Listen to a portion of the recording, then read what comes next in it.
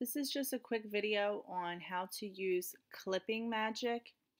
It's for re resizing and then removing the background. I use it for Amazon photos.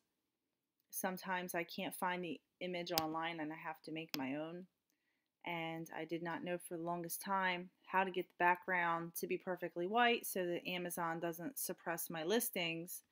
And then someone told me about Clipping Magic and I literally use it all the time.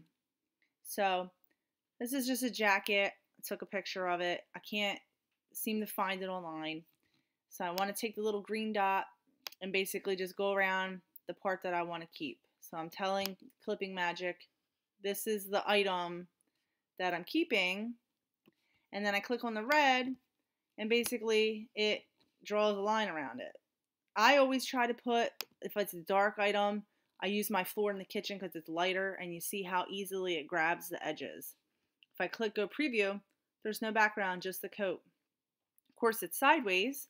So I come down here and I click crop. I'll just rotate it, close it, and then I can click down here on background, click on white, hit preview, I'm done. And then it's easy as I hit download.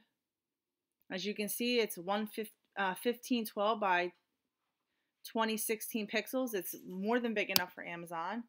Download it, and then I can literally go right into my uh, listing and go ahead and just add my image right in there, and I'm done.